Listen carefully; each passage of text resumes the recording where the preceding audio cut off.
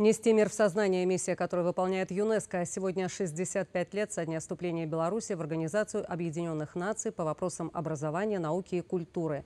Пять раз наша страна избиралась членом исполнительного совета этой авторитетного международного объединения. Более полувека действует постоянное представительство Беларуси при парижской штаб-квартире ЮНЕСКО. Наш президент, встречаясь с руководителями этой организации, всегда отмечал ее особую роль в развитии гуманитарных связей. Одно из стратегических направлений – сохранение национального национального достояния. В списке всемирного наследия ЮНЕСКО четыре белорусских объекта. Это Белорусская пуща, Мирский замок, геодезическая дуга Струве, а также ансамбль в Несвеже.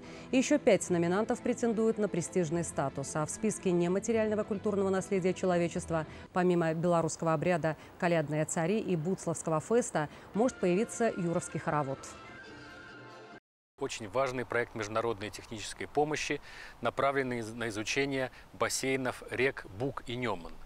Проект с объемом финансирования более 12 миллионов долларов будет реализован на территориях Беларуси, Литвы, Польши и Украины. Новым направлением сотрудничества с ЮНЕСКО в ближайшие годы станет участие белорусских городов в работе глобальной сети обучающихся городов и сети творческих городов.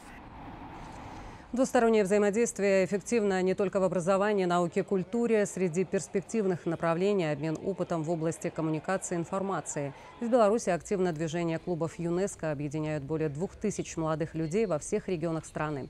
Кстати, 2019 в мире объявлен ЮНЕСКО годом Манюшка, великого композитора, чья малая родина под Минском.